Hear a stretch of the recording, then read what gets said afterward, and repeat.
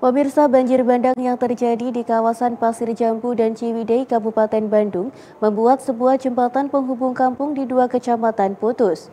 Selain itu, beberapa rumah nyaris ambruk dan untuk mengantisipasi korban jiwa, pihak kepolisian menghimbau warga agar mengungsi ke tempat yang lebih aman. Dalam video amatir memperlihatkan derasnya aliran sungai Ciwidey terjadi pada Senin petang kemarin. Bahkan sebuah jembatan yang berada di kawasan Desa Tenjolaya, Pasir Jambu putus. Jembatan ini merupakan jalan penghubung antar kampung di dua kecamatan. Selasa pagi, imbas banjir bandang dari luapan Sungai Ciwidey terlihat merusak beberapa rumah. Terlihat rumah warga yang berada di pinggir sungai nyaris ambruk.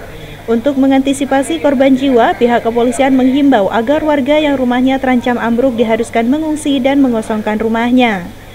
Menurut Kapolresta Bandung, Kombes Kusworo Wibowo, dari data yang diterimanya, kejadian banjir bandang merusak sebuah jembatan dan sebuah kandang yang terbawa hanyut aliran sungai dan tidak ada korban jiwa.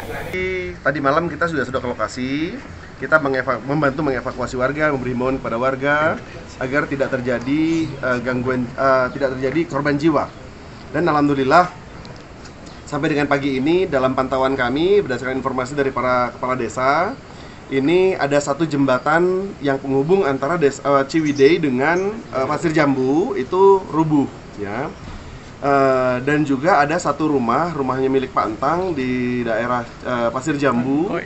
Ini informasinya rumahnya hanyut. Namun setelah kami ke lokasi, alhamdulillah rumahnya tetap utuh. Yang hanyut adalah bekas kandang kambing ya, bekas kandang kambing yang sudah tidak digunakan. Uh, memang kayunya rapuh dan uh, terbawa uh, tadi malam.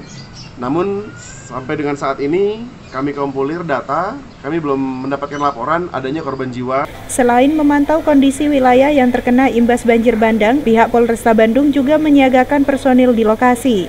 Hal ini dilakukan untuk membantu warga jika akan mengungsi atau mengosongkan rumah mereka. Kejadian banjir bandang ini terjadi pada Senin petang kemarin karena intensitas curah hujan yang tinggi. Dari Bandung, Jawa Barat, Tim Liputan Madu TV mewartakan.